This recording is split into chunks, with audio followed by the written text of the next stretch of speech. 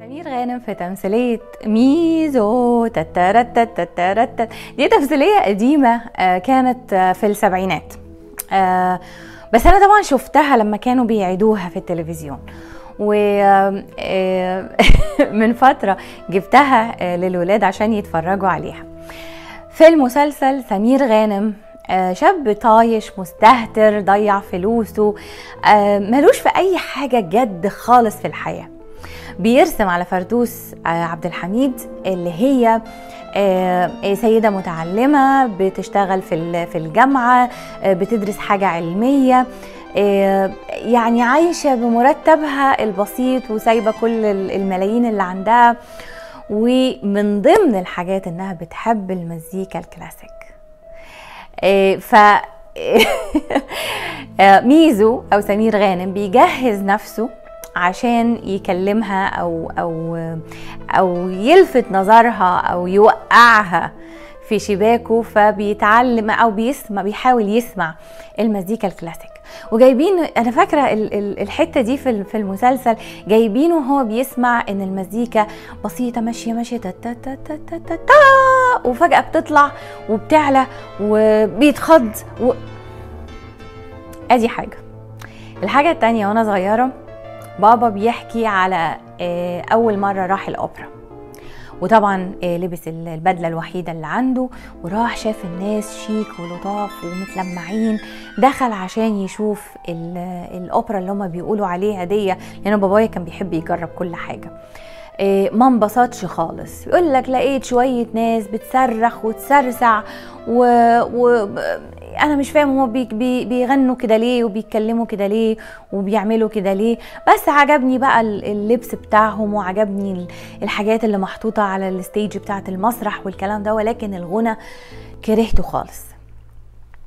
لما بسأل حد عن إيه إيه هل بي بي بيسمع مزيكا كلاسيك بيحب مزيكا كلاسيك قليلين جدا جدا جدا.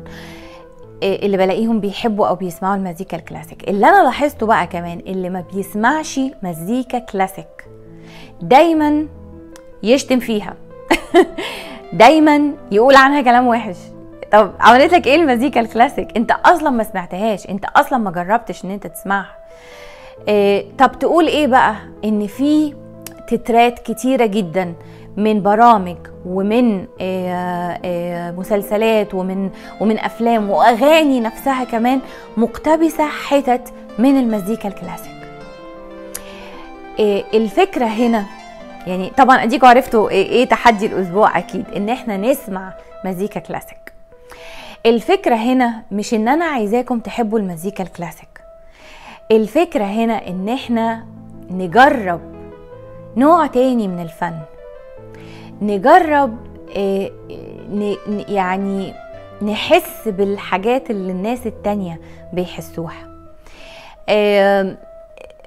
يعني مش عارفة أقول لكم إيه, إيه أنا تجربتي مع المزيكا الكلاسيك حلوة قوي ولما قريت كمان إن إن في بعض مقطوعات لموتسرت وبيتهوفن آه وجدوا إنها بتساعد مخنا انه يعمل ارتباطات عصبية بين الخلايا العصبية بتاعته. آه، في الأبحاث دي لقوا إن الجزء اللي في المخ اللي مسؤول عن آه، اللوجيك إن إحنا نفكر ونفكر بشكل منطقي ونحل المشاكل وبنفس الجزء ده بنتعامل مع مسائل الحساب والماث والحاجات الهندسية هو هو نفسه الجزء اللي بيتعامل مع المزيكا. وتعرفوا مثلا إن أينشتاين أو أينشتاين زي ما بنقول عليه في العربي آه، كان عازف بارع جدا جدا على الفيولين ال- الكمانجا. آه، لأن نفس الجزء اللي اللي بيتعامل مع المشاكل العلمية اللي كان بيفكر فيها هو نفسه اللي, اللي بيمكنه إن هو يتعلم المزيكا. نفس الفايدة بنحصل عليها بس أقل شوية لما بنسمع مزيكا. إيه إيه أنواع الفن وأنواع المزيكا مختلفة ومتعددة وكل مزيكا جاية من البيئة اللي اتولدت فيها. تلاقي آه، الناس اللي اللي سكان الجبل ليهم طريقة معينة. أنا فاكرة يعني كنت أنا وجوزي في أوروبا وقاعدين نسمع بنسموه بيسموها lullabies ال farmers lullabies الأغاني اللي كانوا بيغنوها ال farmers الفلاحين وهم طالعين يزرعوا الجبل أو واخدين البقر بتاعهم وواخدينه وفي ليها حاجة فكرتني بالمواويل وأغاني الفلاحين عندنا في مصر.